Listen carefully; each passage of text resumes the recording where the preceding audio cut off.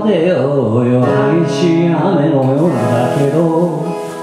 したくは何もないから裸足でドアを開けるだけ。形身になるようなものを拾うのはおよしに次の街ではそんなものはただ邪魔になるだけ。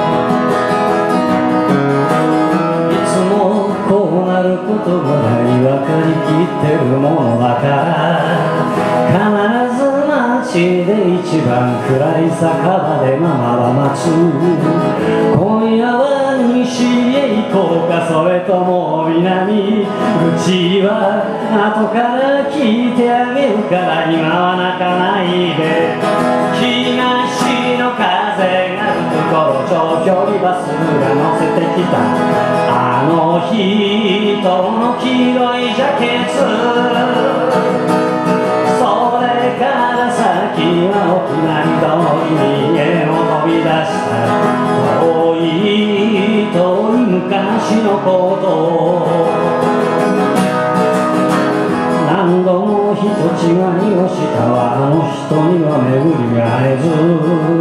旅から旅を行く何かを忘れてしまってたそれでも旅を忘れて悲しみを捨てて一つ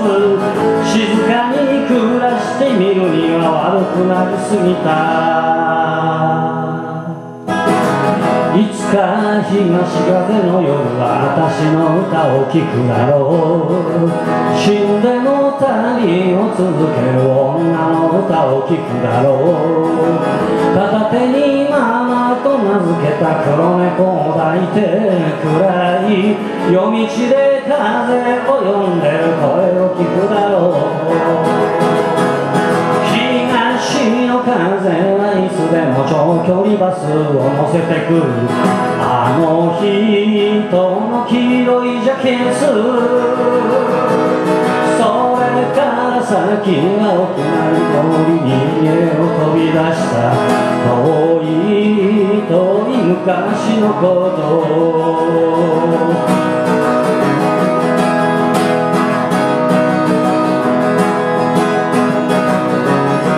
さまな街を出ようの激しい雨の夜だけど支度は何もないから裸足でドアを開けるだけ。畳になるようなものを拾うのはよし次の街ではそんなものはただ邪魔になるだけ東の風